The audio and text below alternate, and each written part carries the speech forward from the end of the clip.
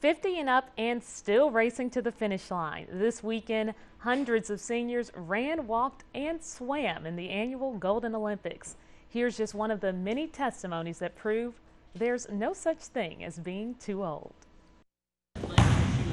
At 71 years old, Mike Perry is going for the gold. You can either use it or lose it. He's trained for months for this day perfecting his free throw shot to compete against some of the best and oldest athletes in the Golden Olympics. And it's not as much so much how physically fit they are, but it's how mentally fit they are. Born in 1942, Perry's an amateur compared to the 450 seniors who participate each year. Next category. However, that hasn't stopped him.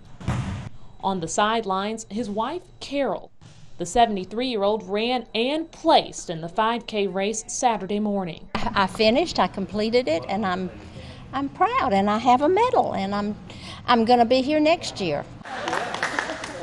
Before the weekend was over, the two would share the honors. Perry taking home the gold in his category. I've already won just participating, and being around these people are they're just different.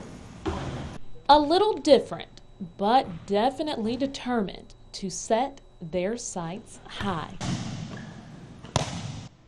This year's Golden Olympics included new events like ballroom dancing and pickleball, which is a cross between tennis and ping pong.